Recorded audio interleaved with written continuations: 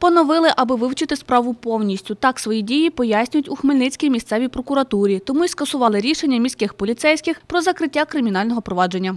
Вивчення матеріалів кримінального провадження було встановлено, що дана постанова слідчого була перечасна, е, без повного всебічного непередженого дослідження всіх обставин кримінального провадження.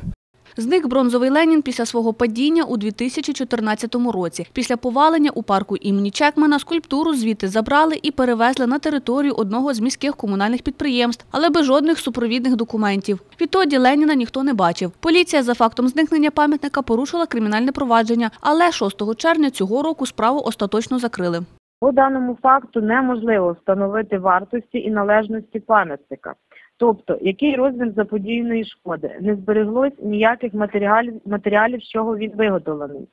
Раніше не проводилася ні одна матеріальна оцінка пам'ятника. Справа закрита. Громадські ж активісти запевняють, бронзовий постамент Леніна висотою 6,5 метрів досі не знайшли саме з вини правоохоронців. Ми звернулися вже до вищої інстанції, тому що нижчі інстанції ми пройшли.